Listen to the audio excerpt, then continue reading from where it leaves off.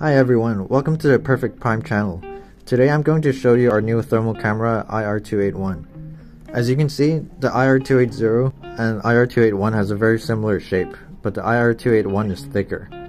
It also has a higher infrared resolution which is 206 x 156 and has special features such as video recording and automatic firmware update.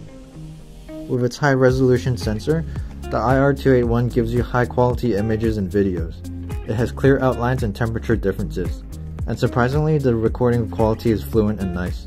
You can record your object's temperature situation and play it later to do a deeper analysis. For example, we can use it to inspect pipes or air conditioning on the roof. It also has an automatic firmware update function.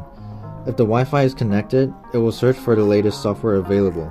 The best thing about this function is you don't need to connect it with a computer to get the latest update. All you need to do is to go to the software update section in the main menu and choose the one you want to upgrade to.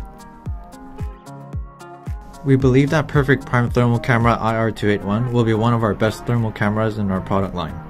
With its high resolution and video recording feature, it will be your great home inspection assistant. Purchase it now.